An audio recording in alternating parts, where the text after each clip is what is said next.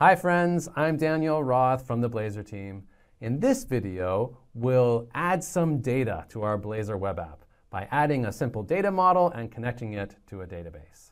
Now, for this exercise, I'm actually going to use Visual Studio so I can take advantage of its built-in scaffolding support, which will let me quickly generate a bunch of Blazor pages based on a data model. In order to follow along, you're going to need Visual Studio version 17.9 or later. Okay, so I've got Visual Studio 17.9 here installed and ready to go. Let's go ahead and create a new project. And we'll go ahead and create a Blazor web app for the template that we're going to use. And for the project name, let's call this Blazor Movie App. And you'll see why in a second. And then let's go ahead and click Next. Now for these options, I'm just going to keep the defaults. This is where we can select which uh, interactive render mode we want to use and at what scope we want interactivity, either per page, component, or globally. I'll just keep the defaults for those. All right, great. So Visual Studio's created our Blazor web app for us. Now to add some data to this Blazor web app, I'm going to add a simple data model to this project. So I'm just going to right click and add an existing item that I've already written up. I think I've got it here in my documents folder, this movie class. And I'll just show you what this looks like. So this is just a simple uh, class that represents a movie. It's got an ID and then a bunch of properties for a movie like the title, release date, genre, and price. Okay? And what I want to do is I want to create some, some pages based off of this movie type that let me add movies to a database, view all the movies in the database, edit those movies, see their details, and delete them. Okay, so basic uh, CRUD operations, create, read, update, and delete. Okay, and in order to do that, I'm just going to use the built-in Blazor scaffolder. So I'm going to go to my Pages folder, I'm going to right-click and select Add New Scaffolded Item. Okay, and then there's a bunch of scaffolders, scaffolders in here. The one I'm going to select is the Razor components, which are Blazor components, using Entity Framework and all the, the CRUD pages. So let's go ahead and add that. All right, so we've got this nice little UI that we can use now. We can select which page templates we want to scaffold. We can scaffold individual pages, like the create page, the edit page, and so on. Or if we select CRUD, that will then just generate all of the pages for me. I then select my data model. Let's select the movie class that we just added. And now we need uh, an Entity Framework Core DB context. This is the type that uh, Entity Framework Core uses to connect your .NET objects to a database. And I don't have one in this project, so I'm going to hit this plus sign to just create a new DB context, and we'll just uh, accept the default name.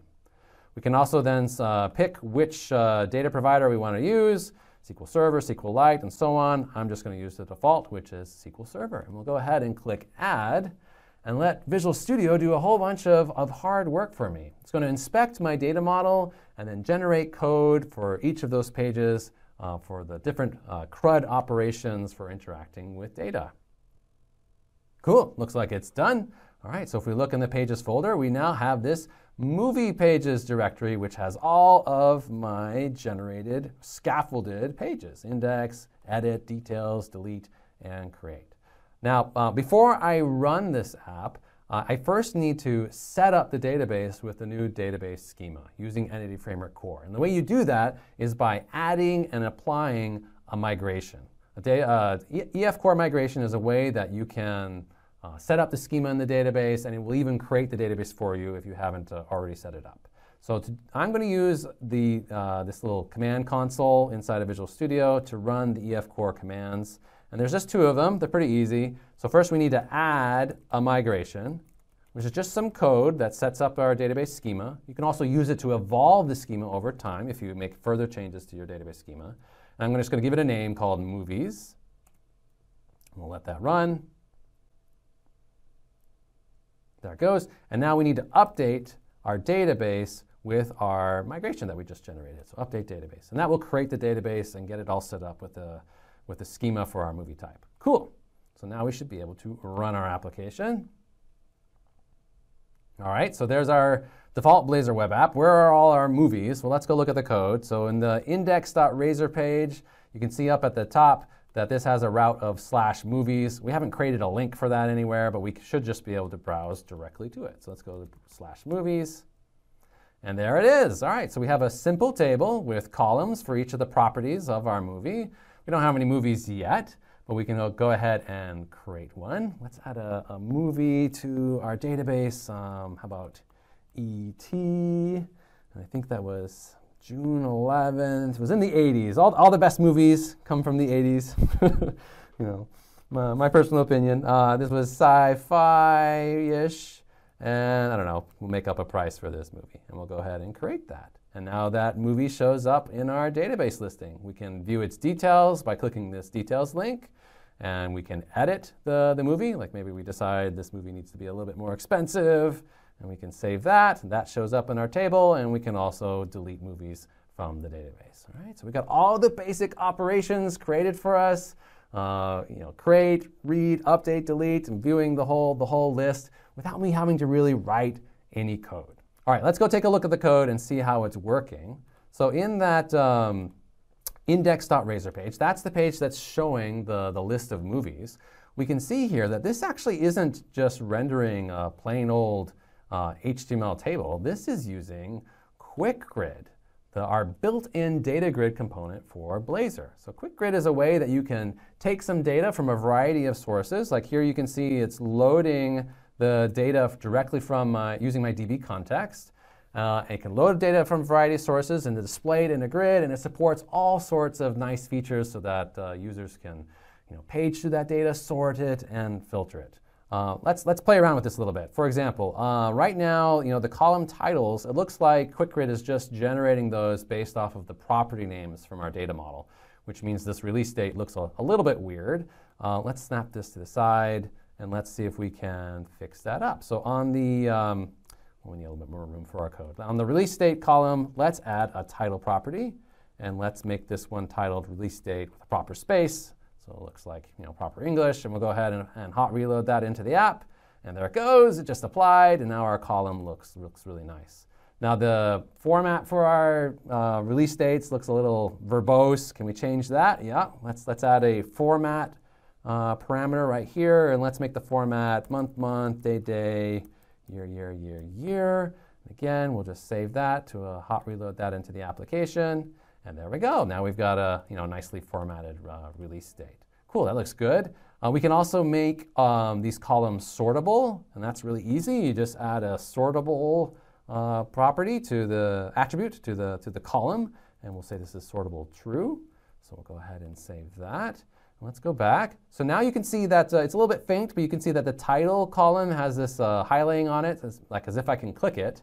Uh, and the other columns don't have that. Unfortunately, well, of course, I don't have. I only have one movie. So let's, let's create another movie just so we can see what's going on. Let's add like Ghostbusters. And what was I wrote down all the, the, the release dates for these things so I don't get them wrong. So this was June 8th, 1984, looks like. And this was um, comedy and we'll make up a price for it. We'll add that to the database. Okay, so now we've got two movies. Can I, can I sort them? Still not working. Ah, that's because by default, this page is using static server-side rendering. Do you remember we learned about all of the Blazor component render modes? In order to uh, allow QuickGrid to handle the on-click event when we click on that title column, we need to enable an interactive render mode for this component. No problem, we can do that. Let's go into our index.razor page, and we'll just add up here at the top a render mode, razor directive, and we'll say let's use interactive server rendering for this component. And we'll go ahead and restart the app so that that appropriately applies. All right, cool. And now if I filter, uh, sorry, sort, not filter. Yep, it's now uh, you know sorting one way, and then we can invert the, the sort order as well. Cool. So that's sorting, really easy. Um, we can also do some uh, pagination. Let's add pagination to this uh, uh, quick grid. Let's go back to the code. To add pagination, we just need to add a paginator component. Again, another built-in component, a companion component to our quick grid.